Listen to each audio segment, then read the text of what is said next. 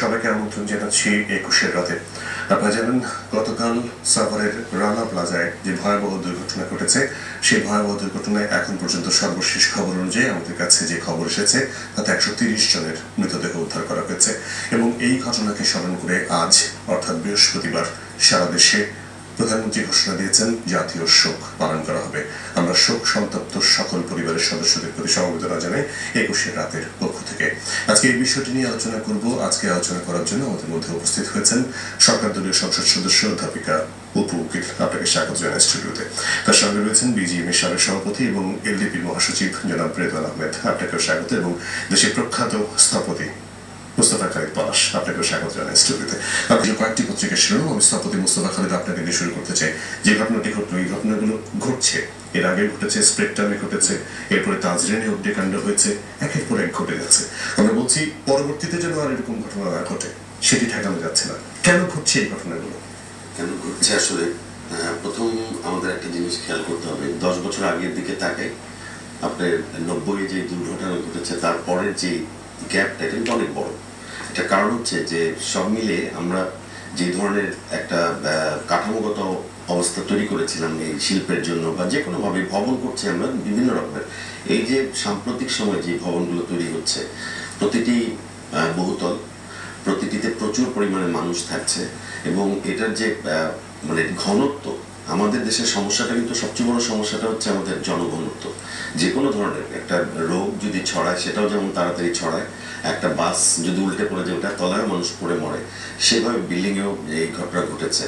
আজকে কোইন্সিডেন্টালি এটা যেটা হয়েছে যে এটা একটা গার্মেন্টস ইন্ডাস্ট্রি ছিল, নাও থাকতে পারতো, একটা অফিসও থাকতে পারতো, সেখানেও প্রাণহানি হতে পারতো।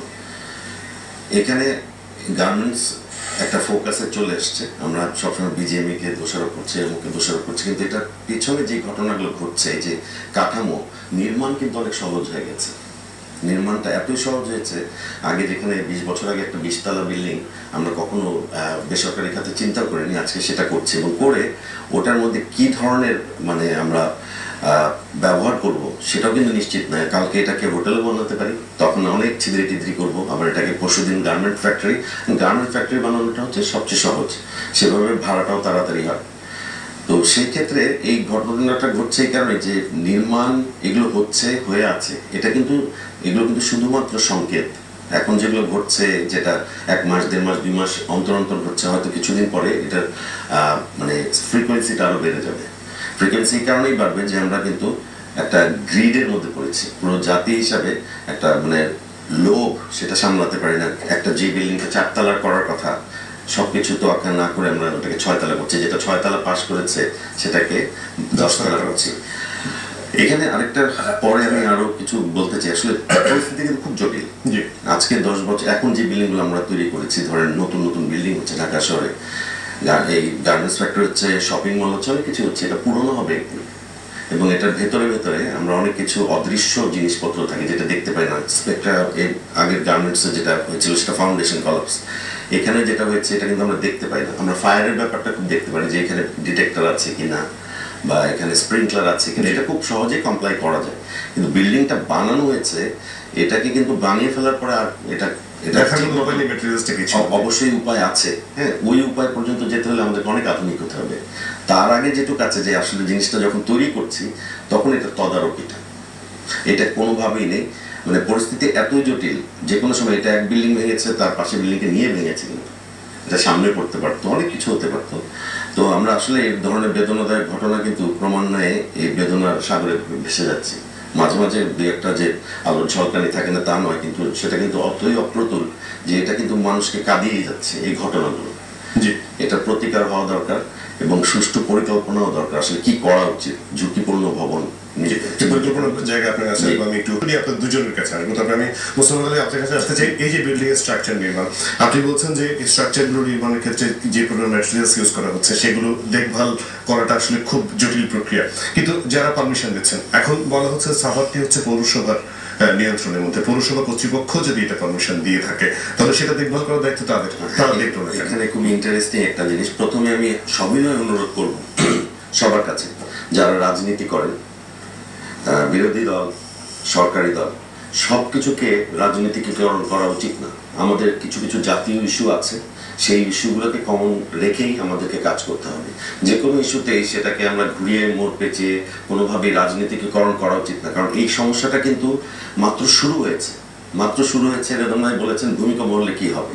এটা কিন্তু কেউ চিন্তাও করতে পারি না। একটা ছোট বিল্ডিং ভাঙলোটাকে আমরা ডিজাস্টার ম্যানেজমেন্ট সেটা করতে পারি না। সেই ক্ষমতাও আমাদের নেই। তো সব মিলিয়ে মানে এই জিনিসটা সবসময় আমাদের এটা মনে করতে আমি একেবারে একজন সাধারণ নাগরিক। আমি, আমি- আমি ভোট দিই বলি একজন সরকার হয় একজন বিরোধী দলে যায়। সো সব কিছুতে রাজনীতি আনা উচিত না আমি মনে করি, এবং ধন্যবাদ জানাই আজকে বিরোধী দল হরতালটা উঠিয়ে নিয়েছে, এটা চিন্তা করে। এই ধরনের মান- মানসিকতা কিন্তু রাজনীতিবিদদের থাকা উচিত। এবং সব কিছুই স্থাপত্য আর রাজনীতি কিন্তু অঙ্গাঙ্গিভাবে জড়িত। সেই সংসদ ভবন থেকে ধরেন খুশি করার জন্য আয়াত খান করে দিয়েছে আমাদেরকে সেখান থেকেই শুরু। তো এগুলো রাজনীতির অংশ বিশেষ সেভাবেও আসে। কিন্তু আপনি যেটা বলছিলেন আরেকটা প্রশ্ন আমাকে করছিলেন যে পৌরসভা। এটা সবচেয়ে ইন্টারেস্টিং ঘটনা। একটা আইন যখন হয় ধরুন আমাদের উনিশশো বাউন্ন সালে ঢাকা ইমপ্রুভমেন্ট ট্রাস্টের একটা অ্যাক্ট হয়েছিল। ওই আইনটা হলে তার এর আগে আমাদের পৌরসভার আওতায় ছিলাম আমরা। তখন কিন্তু ওই আইনগুলোকে ডিফান্ড করতে হয় ডিঅ্যাক্টিভেট করতে হয়। ওই আইন কিন্তু ডিঅ্যাক্টিভেট এখন পর্যন্ত এখনও হয়নি। এবং সবচেয়ে মজার ব্যাপার পৌরসভা বলি আর যা বলি ঢাকা রাজুকের যে আওতা সেই আওতার মধ্যে কিন্তু সাভারও পড়ে নারায়ণগঞ্জ পড়ে। কিন্তু আপনি জাস্ট খেয়াল করবেন আপনি এখান থেকে পাঁচ মাইল দূরে চলে যান কোনো ইন্ডাস্ট্রি পারমিশন রাজু দেয় লাগে না নেয় না। এবং রাজু চেয়ারম্যান বলেছেন যে এটা আমাদের দায়িত্ব না। না এটা উনি বল বলেননি। বলেছেন উনি- উনি যেটা বোঝাতে চেয়েছেন যে ওনার থেকে না নিলেও আরেকজন পারমিশন দেওয়ার লোক আছে। তার সেই ক্ষমতা নেই। হ্যাঁ আমার ক্ষমতা নেই। ধরেন, আমি ইউনিভার্সিটির টিচার আমাকে ওইভাবে লোকবল দেওয়া হয়েছে, আমি ওইখানে পড়াতে পারি, কিন্তু একজন স্কুলের টিচারও সেটা পাস করে দিতে পারে আপনাকে।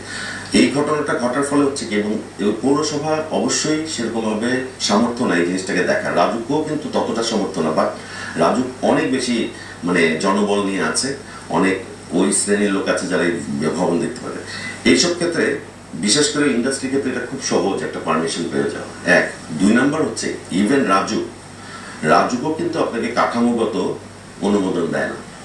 তাহলে দেয় কে? আপনাকে রাজু কিসের অনুমোদন দেয় সেটা জানেন? সেটা হচ্ছে পরিবেশগত অনুমোদন। আমি বলি এটাকে যে এক ভবন থেকে আরেক ভবনের দূরত্ব কত হবে? হ্যাঁ আলো বাতাস চলছে কিনা? ওই বিল্ডিংটা বড় করে ফেলছে কিনা? বা উচ্চতা বাড়াচ্ছে কিনা? এই ভায়োলেশনগুলো দেখে। তো স্ট্রাকচারের কোনো দেখার কিন্তু কেউ নেই। আমি স্থপতি হিসাবে বলি যে সবসময় এটা বলি যে স্থাপত্য এমন একটা জিনিস সেটা জীবন মরণ ব্যাপার নয়। কিন্তু ইঞ্জিনিয়ারিং বিল্ডিং এর যে ইঞ্জিনিয়ারিং এটা কিন্তু জীবন মরণ ব্যাপার। হ্যাঁ এই বিল্ডিং আজকে একটা ব্রিজ ভেঙে পড়লে এত লোক মারা যাবে। আজকে ফুল যমুনা ব্রিজ ভেঙে গেলেও এতগুলো লোক মরতো না। কারণ একশো লোক যমুনা ব্রিজের উপর থাকে না এটা কিন্তু এরকম একটা ভবন, এটা কিন্তু একটা ছোট্ট ইনসিডেন্স পাশের বিল্ডিং একই অবস্থা। ঢাকা শহরে প্রচুর ভবন আছে বর্ণানীতে যাবেন লাইন ধরে।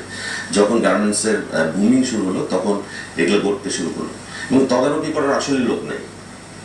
কীভাবে আপনি তদারকি করবেন? পুলিশ দিয়ে কি সবকিছু করা সম্ভব? যদি সচেতনতাটা না থাকে সেই জিনিসটা প্রয়োজন সেই সচেতনতাটা দরকার। জি রেদন ভাই সে যে মুস্তফা খালিদ আপনার কাছে আসি যে মনিটরিং কথা আমি একটু রেদন আহমেদকে বলার চেষ্টা করব আমি আপনার কাছে আবার আসব। আপনার কাছে দিয়ে শুরু করে যে মনিটরিং সেল আপনি যেটা বললেন যে রাজুক যে অনুমতিটা দেয় সেটি মাত্র পরিবেশগত অনুমতি। এক ধরনের। কিন্তু যে বিল্ডিংটা উঠবে যে রডটা আপনি ব্যবহার করবেন সেই যে সিমেন্ট আপনি ব্যবহার করবেন সেটি সঠিকভাবে হচ্ছে কিনা সেই অনুমতি কে দিবে মনিটরিং কে করবে। আমি একটা আরেকটু আহ, বৃহৎ আকারে জিনিসটাকে একটু নিয়ে যেতে চাই। আমাদের এখানে কোনো সময় এই বিদেশে যারা থাকে তাদের জন্য মন্ত্রণালয় ছিল না। আমাদের এখানে মুক্তিযুদ্ধ মন্ত্রণালয় ছিল না। পোশাক শিল্প এরকম একটা শিল্প শুধুমাত্র বিজিএমএ কে স্কেপবোর্ড বানিয়ে বানিয়ে বারবার আমরা বিজিএম এর উপর চাপিয়ে দিচ্ছি। আমি মনে করি বিজিএম একটা ভলেন্টারি অর্গানাইজেশন তারা একটা প্রফেশনাল অর্গানাইজেশনের মতন অ্যাক্ট করে। তাকে মনিটর করার জন্য একটা মন্ত্রণালয় আলাদা হওয়া উচিত। সম্পূর্ণভাবে আলাদা একটা মন্ত্রণালয় হওয়া উচিত। তার ভেতরে এই কাঠামোগত বিষয়গুলো উনি যেটা প্রথমে বলেছেন যে একটা ফ্যাক্টরি করতে হলে যে পরিমাণ লোড এটার উপরে যাবে কতটুকু যাবে না যাবে সেটা চিন্তা করে ওইভাবে ডিজাইন করা উচিত। কোনোভাবে এগুলো সেভাবে ডিজাইন করা একটা শপিং মল কেমনে হবে কীভাবে হবে? যেমন একটা হসপিটাল হসপিটাল যখন ডিজাইন করা হয়, ফ্যাক্টরটাকে ডাবল ধরা হয় সবসময়। যা লাগবে তার ডাবল কারণ হচ্ছে কোনো রকম দুর্যোগ কোনো রকম ভূমিকম্প যাই হোক অন্তত হসপিটাল যাতে বেঁচে থাকে হোটেলগুলোকে সেভাবে চিন্তা করা হয় যে মানুষকে রিহ্যাবিলিটেট করার জন্য সেই জায়গাগুলো আমরা ইউজ করতে পারি যাতে। সেভাবে গার্মেন্টস একটা ফ্যাক্টরি ডিজাইনের ক্রাইটেরিয়া তো আলাদা, আমাদের কোর্টে বলেছে।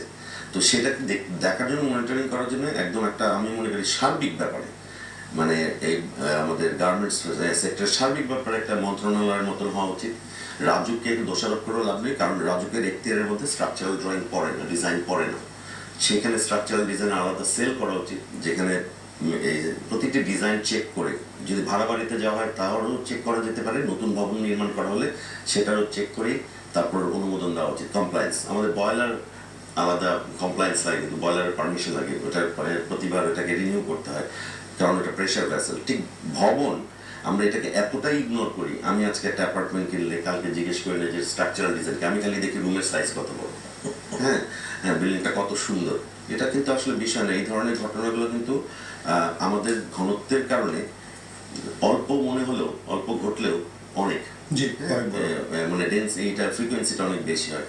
আমার একদম সোজা সাপটা আবেদন যেটার জন্য আমাদের পোশাক শিল্পের জন্য আলাদা মন্ত্রণালয় করে তাকে অনেক শক্তিশালী করা উচিত এবং বিজিএমই ওই মন্ত্রণালয়ের যুগত কাজ করা উচিত। যে কোনো বিষয় তার শ্রম মজুরি তার হেলথ সেফটি ফ্যাক্টরগুলো হাইজিন সব কিছুই দেখা উচিত হাউজিং দেখা উচিত। তারা কীভাবে থাকে ওটা কিন্তু কোনোদিন আমরা দেখিনি। হ্যাঁ, কখনো কোথায় কি এর পরের অবস্থাটা কি সেটা দেখি না। তো এবং ভবন বিষয়ের বিষয়গুলো। আর আরেকটা বিষয় আমি তুলে আনতে চাই। আজকে দেখছিলাম সব আমাদের দেশে তো নেগেটিভগুলো এত বেশি প্রচার হয় প্রতিটি বিদেশি চ্যানেলে দেখাচ্ছে বাংলাদেশে। এতে করে কি হচ্ছে ইম্প্যাক্ট করছে আমাদের বিপণনের ইম্প্যাক্ট হবে। একটা কথা কিন্তু মনে রাখতে হবে যে গার্মেন্ট যারা ইন্ডাস্ট্রি করেছেন এটাতে প্রফিট হবে এটা একটা লজিক্যাল কনসিকুয়েন্স কিন্তু ওনারা যাদের কাছে বিক্রি করেন তারা সেই বিদেশিরা আমাদেরকে কত টাকা দিচ্ছে? সেই টাকা দিয়ে যদি ব্যবসায় মুনাফা করতে হয় ওই লোকটা কিন্তু সস্তা জায়গায় খুঁজবে। জি। আর সস্তা জায়গায় দিতে হলে যে লোকটা ভাড়া দেবে সে কিন্তু সস্তা সস্তায় বাড়িটা বানাতে যাবে। তো এই সব মিলে এটা একটা মানে ভিশাস সাইকেল এটাকে ব্রেক করতে হলে কিন্তু যারা আমাদেরকে দোষারোপ করে যে আমাদের এই পরিবেশ খারাপ, ঢাকা শহরে এরকম কলাপস হচ্ছে আনন্দ হচ্ছে ওইখান থেকে শুরু হওয়া উচিত। জিএসপি কোটা বাতিল না করে। জি, অবশ্যই। আমাদের সাথে কিন্তু